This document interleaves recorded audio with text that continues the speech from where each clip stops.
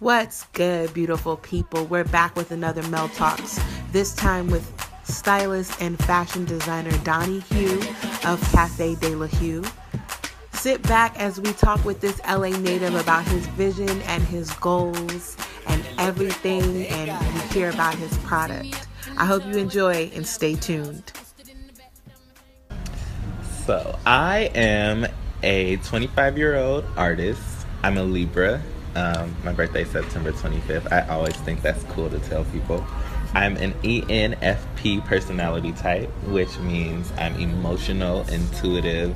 I go off of feelings and perspective. Um, I'm a stylist, wardrobe and fashion stylist. I am also a designer for Cafe de la Hue. I created it as an entrepreneur. Um, yeah, I'm an activist and a philanthropist, and I do advocacy work for the LGBT community and young men who have sex with men between the ages of 18 to 29.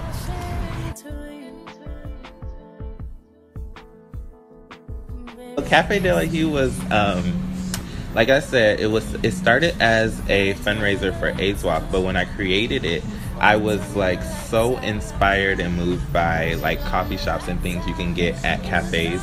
Because um, I used to do a lot of my studying inside of coffee shops. That's where I got a lot of inspiration. And so when I wanted to create stuff, I wanted to create pieces based off of like desserts and pastries or things that you can find like that were edible. And I'm big on texture and texture like leathers, wool, tweed, um, velvet, like all of those things. They they just scream quality to me.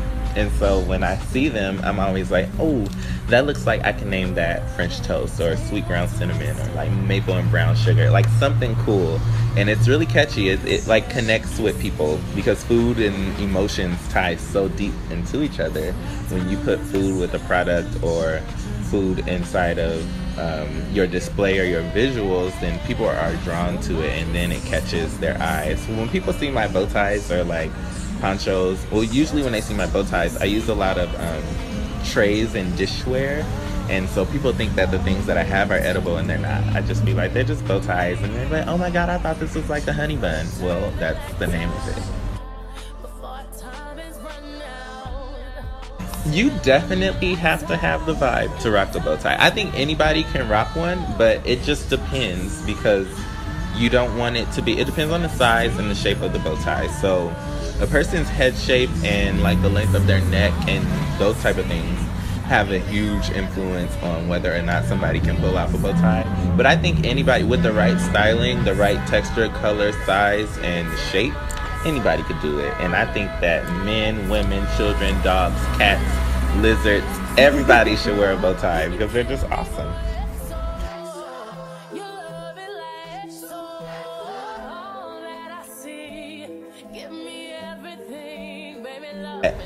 I'm able to give back and raise awareness. That is one of the most important things to me because I um, HIV and AIDS has been like a very prominent.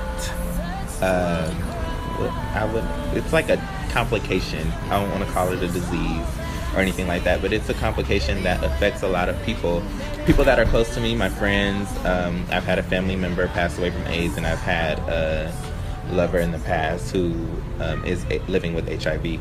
And the fact that I'm able to give back and raise awareness on getting tested and making sure that people know their status and that there are other prevention methods like PrEP and stuff like that, pre-exposure prophylaxis, which helps like protect your healthy cells from getting invaded with the HIV virus. And I think the fact that I'm able to use creativity and something that's personal to me um, as an outlet of like expression to raise awareness is like very inspiring to myself. And then it inspires others to pay more attention to like what's going on in the community. So um, i finally broadened up my philanthropy and steered a little bit away from hiv and aids and started to focus on men's health awareness month for movember foundation the movember foundation they raise money and awareness on prostate cancer, testicular cancer, cancers that affect men, along with things like mental health and suicide. And so, with raising awareness on um, men's health this year as my philanthropic cause,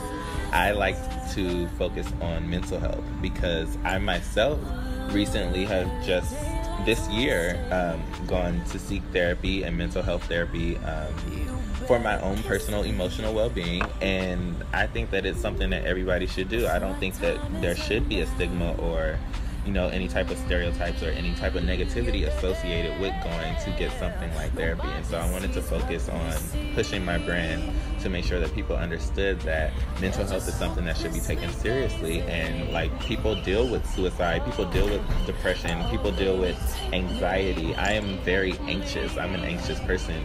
And you know i don't get depressed often. That's not something that has haunted me which i think i'm thankful for. But I've seen people be depressed and not do anything about it. And I've seen people attempt suicide and had to be there to save them. And that's not pretty. And it's a lot of men that are going through these things that are not talking about it. And so the point of my brand being something that people can recognize and see as something that also helps the community is to be able to look at something as cool as a bow tie and then think consciously about your health and well-being whether it's hiv testing or going to get therapy or anything. And it doesn't have to be a cafe de la hue bow tie. It could be a bow tie you see anywhere and it could be a simple reminder like ooh maybe i need to go get tested this month or hmm, let me check in with myself and like see where I am emotionally. And I want people to start wearing bow ties on days that they feel down because that might be a little bit of joy. When people see bow ties, when people come up to my tables, they're always like, these are so cool. And they be like, ooh, bow ties. And they get like this specific light about them. And you never know what that energy transfer can do.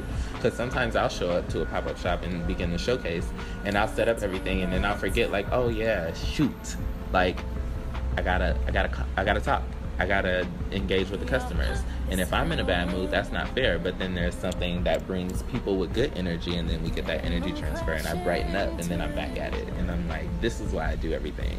But you just gotta make sure that, you know, we as people, not just for men's health, but people's health and wellness in general, we need to make sure that we're taking control of that and like we have the power to make sure that we're okay. Nobody deserves to make you feel any less than or the like make you feel like you can't proceed in life or progress or like educate yourself or that you're not smart enough, you're not beautiful enough or anything like that. Nobody deserves that power. And so I wanted I chose to take something like my creativity and my passion to make something as little simple reminders of that. And that's where I want to take Cafe Dog.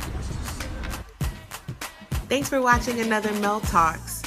Please be sure to like this video and subscribe and share with everybody you know. We out here trying to support these black businesses and black entrepreneurs. Be sure to follow official Mel Pop on all social media platforms. We're on Facebook, Instagram, Snapchat, and Twitter.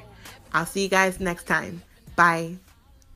For those of you looking to support Donnie and Cafe de la Hue, he will be having a pop up shop at the event Pancakes and Booze Art Show on January 20th and 21st from 8 p.m. to 2 a.m. at Lot 613.